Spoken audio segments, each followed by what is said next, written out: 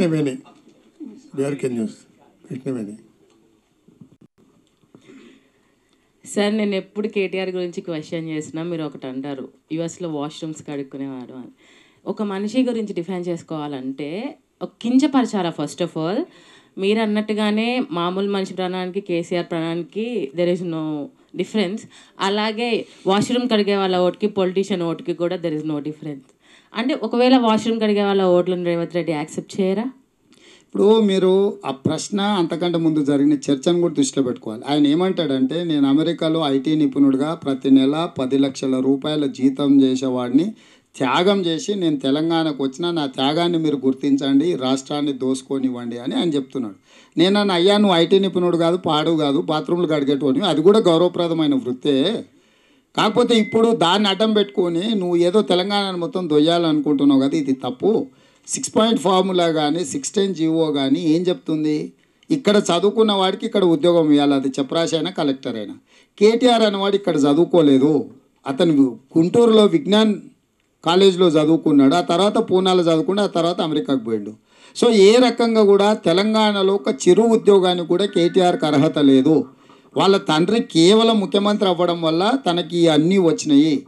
మిగతా కుటుంబ రాజకీయాల గురించి మాట్లాడతారు. జవహర్లాల్ నెహ్రూ గారు బతుకున్నప్పుడు ఇందిరాగాంధీ గారు ఏ పదవి తీసుకోలేదు ఇందిరాగాంధీ గారు బతుకున్నంత కాలం రాజీవ్ గాంధీ గారు ఏ పదవులు తీసుకోలేదు రాజీవ్ గాంధీ గారు బతుకున్నంత కాలం సోనియా గాంధీ గారు ఏ పదవి తీసుకోలేదు వాళ్ళు చనిపోయిన తర్వాత ఒక బాధ్యతను నెరవేర్చిండ్రు. ఈరోజు సోనియా గాంధీ రాహుల్ గాంధీ గారు ఎంపీలు ఉన్నా కూడా పదేళ్ళు ప్రభుత్వం మంత్రి తీసుకోలే ప్రధానమంత్రి తీసుకోలే రాష్ట్ర మంత్రి తీసుకోలే. ఏది కూడా తీసుకోలేదు. వాళ్ళ త్యాగం. కేసీఆర్ కుటుంబము కేసీఆర్ నేను మా ముస్లాం ఉన్నా ఆమె వండి పెడితే నేను తినిపెట్టి తెలంగాణ ఉద్యమం చేస్తాం మా పిల్లలు అమెరికాలో ఉన్నారు అన్నారు. మా కుటుంబం రాజకీయాలకు రాదని ఆయన చెప్పిండు. ఆయన చెప్పిన దానికి విరుద్ధంగా ఆయన కుటుంబం అంతా ఎట్ ఏ టైం ఎమ్మెల్యేలు అయిన okay I don't find fault with anyone ఆయన సీట్ ఇచ్చిండు అది పార్టీ ఆయనది కాబట్టి బీఫామ్లు ఇచ్చిండు ప్రజలు ఎన్నుకున్న అంతవరకు నేను ఒప్పుకుంటాను నేనేం దాని మీద చర్చ చేయదలుచుకుంటాను మంత్రి పదవి ఇవ్వడం అనేది ముఖ్యమంత్రి ప్రిరాగేటివ్.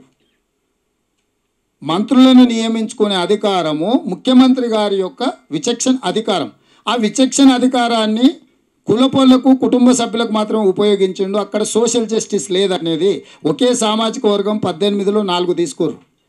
మొత్తం యాభై శాతం ఉన్న బీసీలకు మూడు ఇచ్చిండ్రు ఇది ఎట్లా చూస్తారు? అందుకే మేము చెప్పింది కుటుంబ పాలన అనేది ఇతరులను పోల్చేటప్పుడు కుటుంబ పాలన ఉండదని కేసీఆర్ చెప్పిండు. కానీ మొత్తం కుటుంబం అంతా పాలనలోనే ఉన్నారు. ఓడిపోతే కూడా ప్రజలు తిరస్కరిస్తే కూడా మళ్ళీ పదవి ఇచ్చిండు అందుకే ఈ చర్చలు రెండు జరుగుతున్నాయి. ఒకటి కేటీఆర్ పెద్ద అమెరికాలో సాఫ్ట్వేర్ నిపుణుడు కాదు. ఆయన అంత పెద్ద పెద్ద ఉద్యోగాలు ఎలగబెట్టలేదు. ఆయన చేసిన పని ఏందో చెప్పిన. రెండవది కుటుంబ పాలనకు వచ్చినప్పుడు ఇదే చెప్తున్నాం ఇక్కడ వాటికి తాగాలు ఉన్నాయి అక్కడ భోగాలు ఉన్నాయి. ఇది రెండు విషయాలు. శ్రీనివాస్ రెడ్డి గారు. లాస్ట్ క్వశ్చన్ రేవంత్ రెడ్డి గారు రెండు వేల పద్దెనిమిది ఎన్నికల్లో అధికారం వస్తుందనే విశ్వాసంతో ఉన్నారు. కానీ పొందలేకపోయారు.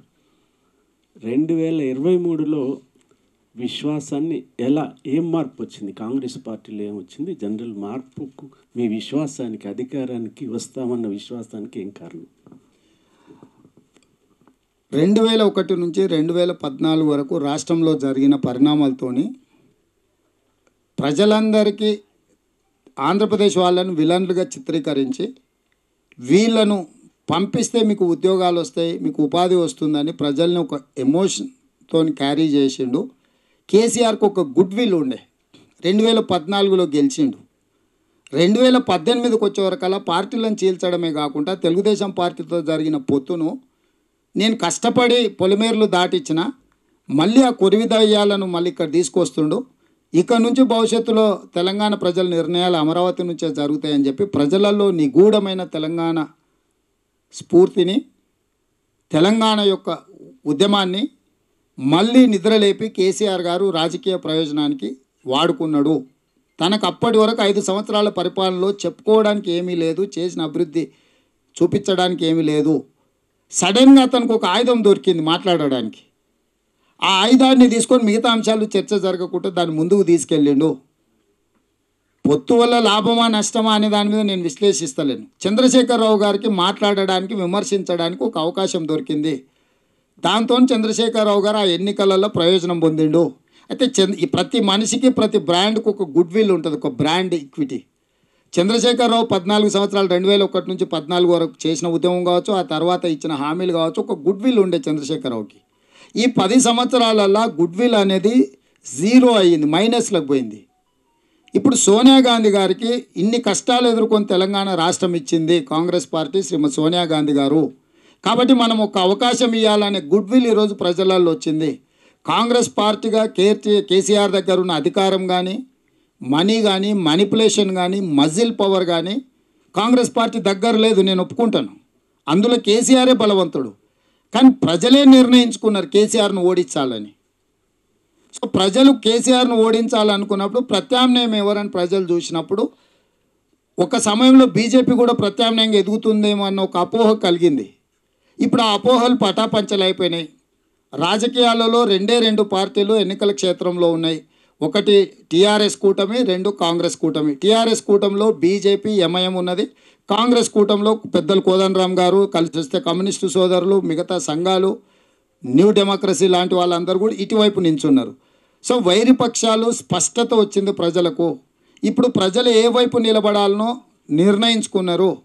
సో ఈ ఎన్నికల గెలుపు రేపు రాబోయే అద్భుతమైన ఫలితాలు అది ప్రజా తీర్పు ప్రజలిచ్చే తీర్పు. కాబట్టి మాకు స్పష్టంగా ప్రజల మీద నాకు నమ్మకం విశ్వాసం ఉంది. ఇరవై సంవత్సరాలు నేను నిరంతరం ప్రతిపక్షంలో ఉన్న ప్రజలతో ఉన్న ప్రశ్నించే గొంతుగా ఉన్న ప్రజా సమస్యల మీద కొట్లాడినా ప్రజలు నన్ను గుర్తించిండ్రు ఈ ఇరవై సంవత్సరాల నా అనుభవంతో చెప్తూ ఈసారి ప్రజలు కేసీఆర్ను ఓడించడానికి ముందుకు వచ్చారు హండ్రెడ్ పర్సెంట్ ప్రజలు కేసీఆర్ కుటుంబాన్ని ఓడిస్తారు. Thank you sir. ఇప్పుడు మన్నించాలి.